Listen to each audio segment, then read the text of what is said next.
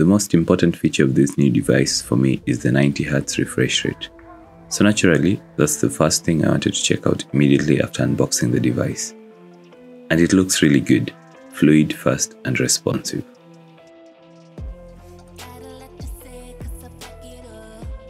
So hi guys, let's talk about the Realme 6.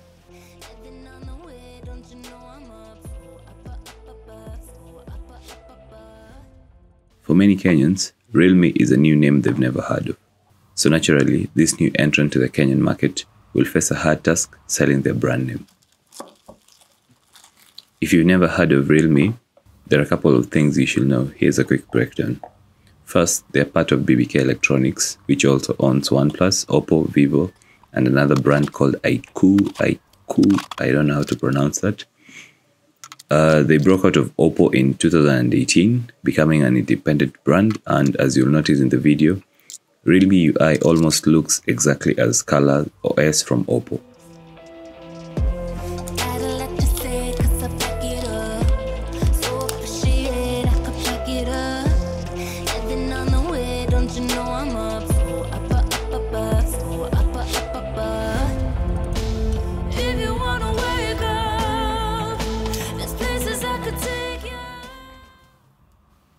The Realme 6 is a mid-range device that stands out.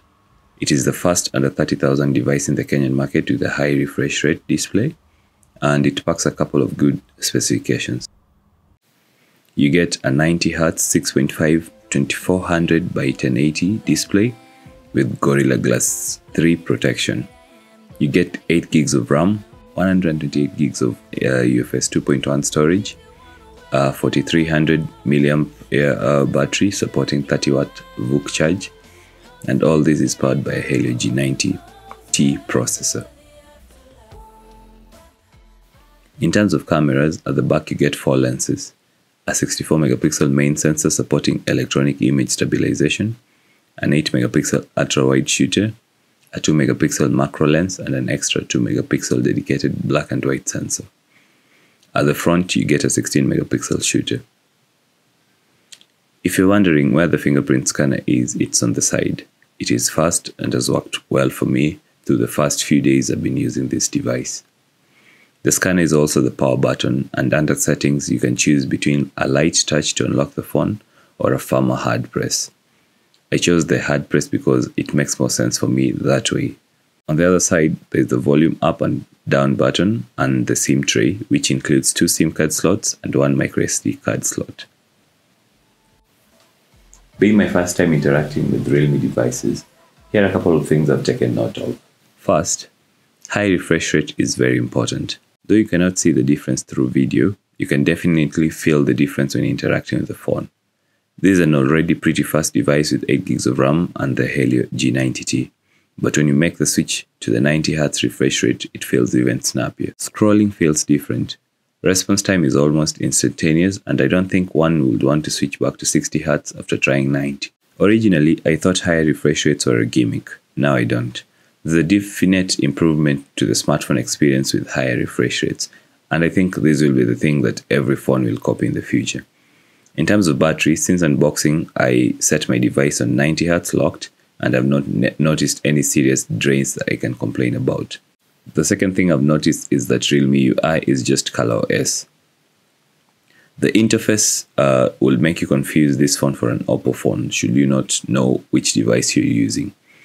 I mean, of course, this company was part of Oppo for a long time, but ever since the separation, things seem to have remained the same. You even find a folder named ColorOS under File Manager. I just hope Realme sends out Android updates on time so that they don't risk becoming a good phone brand with a bad reputation for updating their smartphones. Currently, the phone has already received the July 2020 security patch. I don't like the fact that Realme includes a lot of bloatware on their devices. Though many of the apps are easy to delete, some are suggestions from Realme's own App Store, and there's no way to remove or hide them. My solution has been to remove all the apps I don't know and do not intend on using, then disable features I don't want like Smart AI and others, uh, including a drawer, and then using a custom launcher. I use Nova Launcher, which gives the device a cleaner look. I've also installed Messages by Google, which I prefer over Realme's own message app. because uh, Realme's own app doesn't support things like being able to copy uh, authentication codes and the like. The third thing I've noticed is that the 30 watt fast charging is amazing. One thing you have to give it up to every company under BBK Electronics is fast charging. In a time where some companies are planning on removing chargers from the box, the included 30 watt charging brick is really good. It took me 30 minutes to have my phone from 0, which is completely dead, to 57%. In another test, it charged the phone from 44% to 65% in about 10 minutes. I love that this is over USB-C, which means I only need to carry one charger when traveling. Okay, so talking about traveling, I recently had the chance to travel and I took this time to sort of stress test the device to see how good the battery will perform over a long period of time. So over the period of time, I decided to take screenshots at different points of the day to see uh, the battery levels later on. And here are some of the results I noticed. So it's 6:46 a.m. Uh, battery is currently 96%. Uh, let's see how long this battery lasts during this trip. At 8:35 a.m., the phone was at 91%. At around 9:16 a.m., it was 84%. Then it was 82% at around 10 a.m. And at around 4:45 p.m., it was about 55%.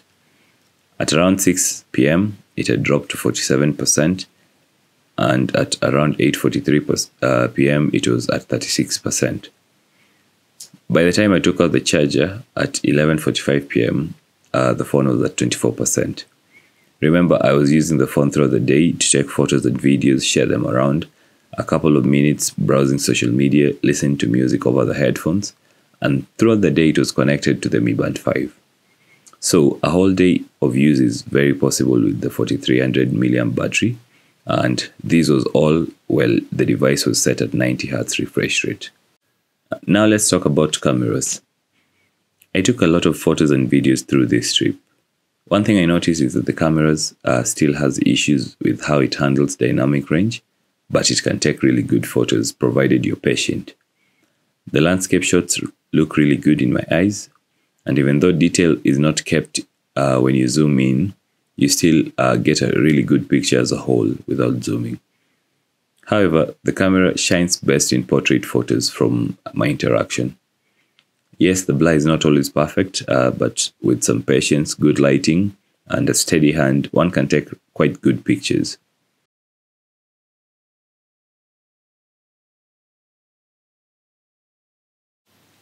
While working on this video, there's something I wanted to uh, mention. Uh, I wanted to talk about optical image stabilization because from uh, interacting with the phone, the videos were pretty stable. Then, while Googling, and I realized uh, the device doesn't actually support OIS. Instead, it has EIS, electronic image stabilization. Even in a shaky terrain where the vehicle is uh, sort of jumping around, a video uh, from the camera looks really stabilized. You can shoot your videos either at 720, 1080, or 4K. Uh, you can only shoot 60 FPS while the device is locked at 1080. Uh, and I am not sure about the 4K uh, frame rates, but you can shoot 4K videos. The issue I noticed with the videos are the same issues I noticed with the pictures. The phone uh, struggles with dynamic range, sometimes blowing out the highlights. Okay, let's conclude the video. This is a great device for its price point. Uh, though Realme hasn't told me the official price, there is a couple of listings on Jumia for the 8 gigs of RAM version uh, that list the device for about 28,000, some, some listing it for up to 29,000. The official pricing of the device will be shared on the description once Realme uh, shares uh, the recommended price. Realme's move into the smartphone market in Kenya uh, will bring in more competition to all the players in the smartphone space. Realme uh, brings in uh, really quality smartphones and really good prices and uh, just good customer convincing and with good branding and with good advertisement, I think they could reach a lot of people. They currently have a couple of devices, including the C3, the C11, and uh, uh, sort of smart band, and we'll be talking about that in the future. So thank you very much guys for watching and subscribe.